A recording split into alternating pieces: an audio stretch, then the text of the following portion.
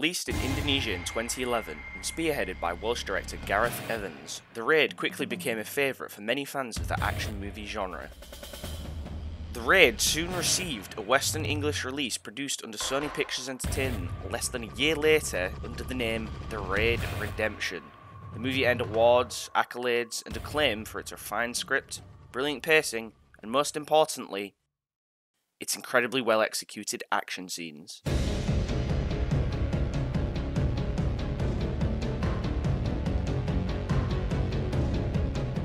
Awards would include an official selection at the Sundance Film Festival, South by Southwest Film Festival, and Audience Choice at the Toronto Film Festival, to name but a few. Puts Western action movies to shame, Empire. Unapologetically brutal, the year's most turbocharged film, USA Today. If it's not the best action movie of the year, we'll eat a fridge. Guardian. High praise from the elites. So why is this film held in such high regard? My theory? The action design. So, what is action design? Put simply, action design is the process within a production by which an action concept is brought from the script to the screen. The specifics can change from production to production, from something as large as a five story building being sieged by police as our protagonist attempts a daring escape before it explodes.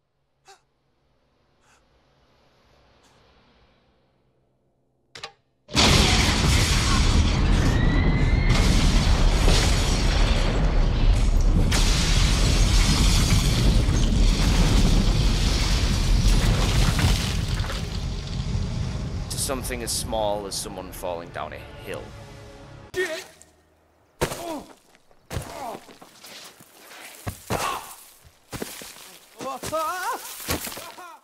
A really big hill.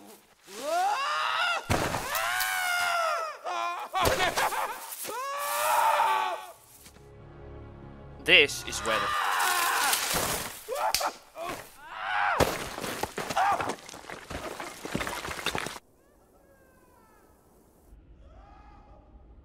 Is he done falling?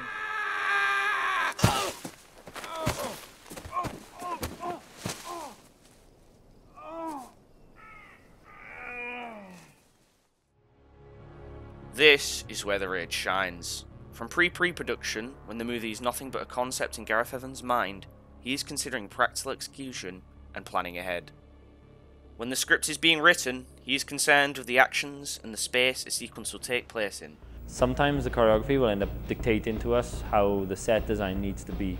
Um, we might have certain ideas in choreography which takes place like two or three months before pre-production starts. And we'll have specific ideas of uh, movements and falls which demand that we need like certain props or certain structures for the rooms. This is apparent during the pre-production of the movie, in which his art director had to figure out how to build a set in which it would be possible to fall through an apartment floor to another apartment floor. Action!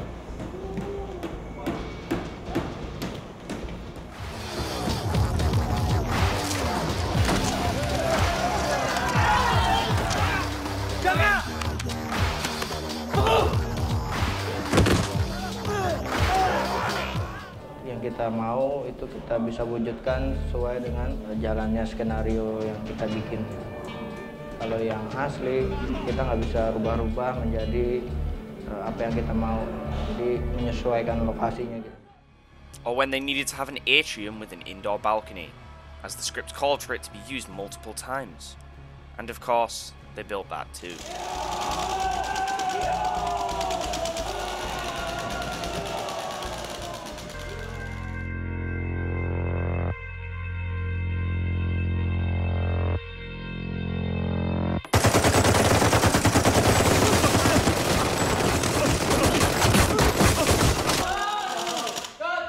Itu ada gedung kosong tapi tidak ada atrium seperti ini atau bisa dibilang courtyard atau balkon ya, balkon dalam.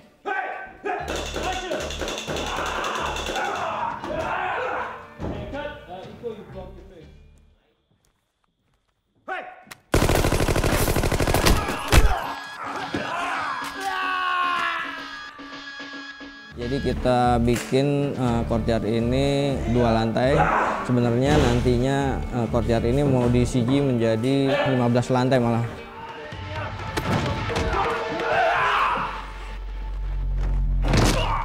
For more elaborate stunts and set pieces, time is needed to set up and execute them on location.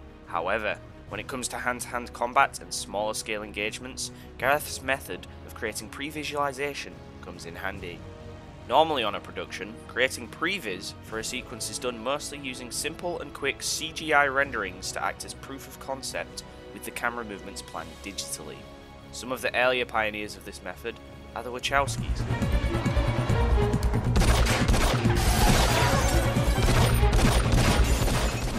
When planning to shoot the highway sequence for The Matrix Reloaded, it was so elaborate and had so many moving parts that they needed to plan out everything treating actors like pieces on a chessboard.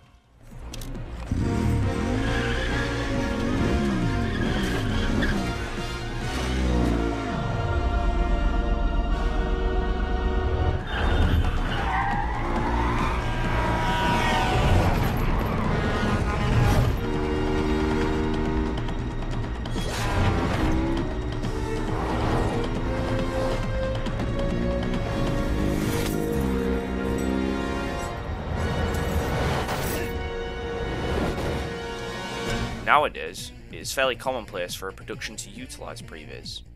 However, what is somewhat less common is the method of video storyboarding with real people for action sequences. But none are as bigger advocates of this method than a little video game developer known as Capcom.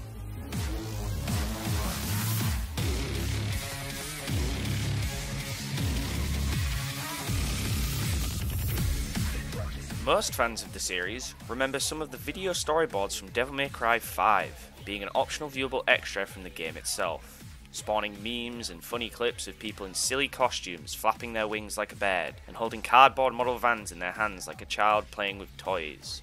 But these would act as a very useful tool for the animators to reference when designing the cutscenes.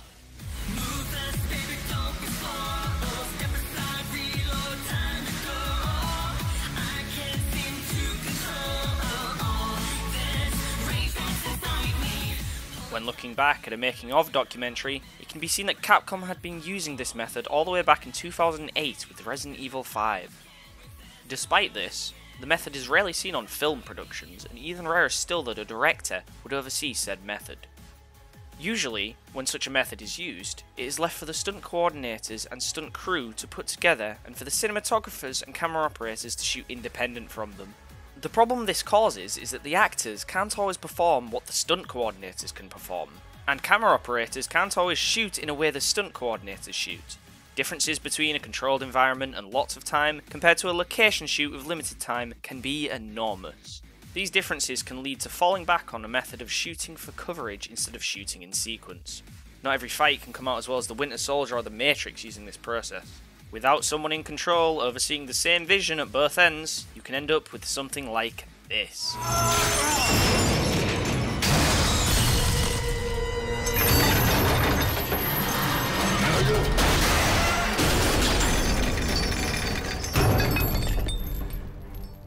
This is where the job of an action designer comes in, combined with video storyboarding. It is an action designer's job to oversee the process of an action sequence all the way through the production, Gareth Evans designs action, and in his case, he just also happens to be the director. Previs for me is always a tool through which I could be able to be comfortable with the action we were designing and the way we were going to present it. It's a given. It's the most invaluable tool I can have in my arsenal. When shooting the raid, Gareth works with the actors themselves to produce video storyboards for the fight scenes in pre-production, creating edited videos to use on location. It's a little bit of a Bible really in terms of how strictly we follow it.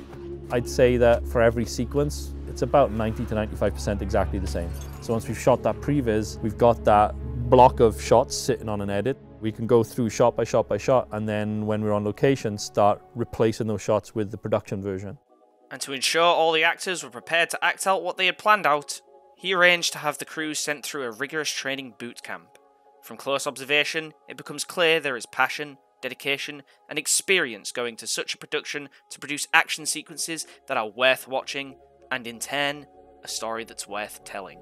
And if you don't believe how important and instrumental the video storyboards are, listen to Gareth yourself. So we never shoot coverage, we shoot jigsaw pieces. You know when something's wrong right there and then while you're on location. So you have that time and that safety net to fix it. Good.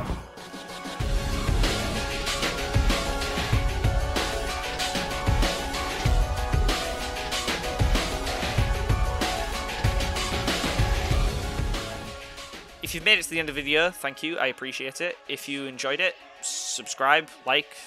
Uh, suggestions are always welcome in the comments. I quite enjoyed making this video. It was quite nice to go through some of my personal favourite action scenes of the last couple decades. Who knows, if I get bored enough and I'm encouraged enough, I might make more video essays in the future, so stay tuned. Thanks for watching.